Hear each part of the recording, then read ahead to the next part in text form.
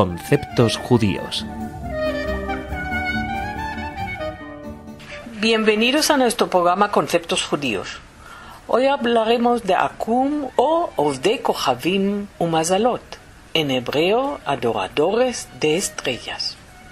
El nombre Akum es el acrónimo de Ovde Kohavim Umazalot, adoradores de estrellas y constelaciones, y se refiere a los idólatras antiguos. Durante el periodo medieval, en un momento en que los libros hebreos sólo podían conservar si se habían sido examinados por el censor cristiano, generalmente un mushmad, un apóstata del judaísmo, se usaba el término akum para definir al pagano, al gentil, goy, al no judío. El censor arrancaba páginas o tachaba pasajes que él consideraba reprobables.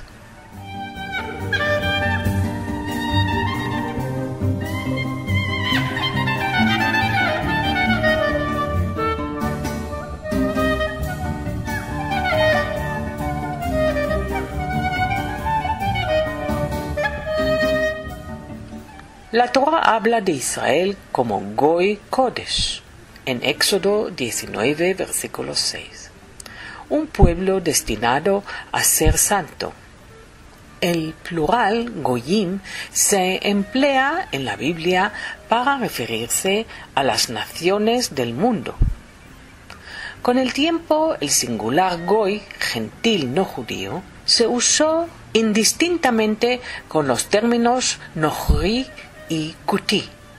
Como resultado de la campaña contra la literatura hebrea, seguida de la condena y la quema del Talmud, la palabra Goy la utilizaban solo autores que vivían en países musulmanes. Lo mismo sucede con el término Talmud, que tampoco gustaba a los censores con que se adoptó la palabra Gemara para referirse a este libro sagrado.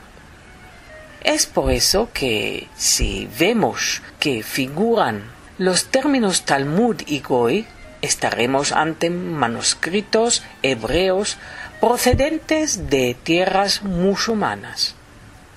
Si en el texto figuran las palabras Gemara, gentil o kuti, el origen del manuscrito será no musulmán, ya que eran términos que imponían los censores cristianos.